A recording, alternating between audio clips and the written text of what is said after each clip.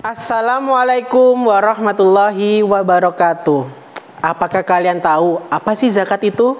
Zakat merupakan salah satu rukun Islam yang perintahnya terdapat dalam surat Al-Baqarah ayat 43 yang berbunyi Bismillahirrahmanirrahim wa aqimus sholata wa atuz zakata warka'u ma'ar yang artinya dan laksanakanlah sholat, tunaikanlah zakat, dan rukuklah beserta orang yang ruku.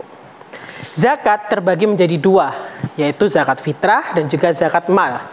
Yang pertama adalah zakat fitrah. Zakat fitrah bertujuan untuk mensucikan diri dari hal-hal yang telah mengotori puasa.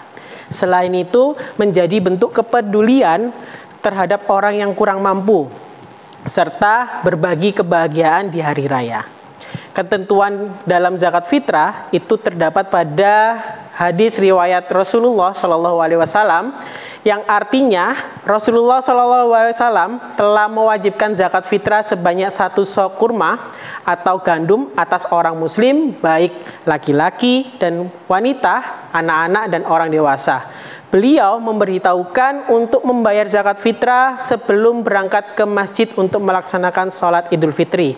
Hadis riwayat Bukhari dan Muslim. Zakat mal bertujuan untuk membersihkan diri dari harta yang dimilikinya.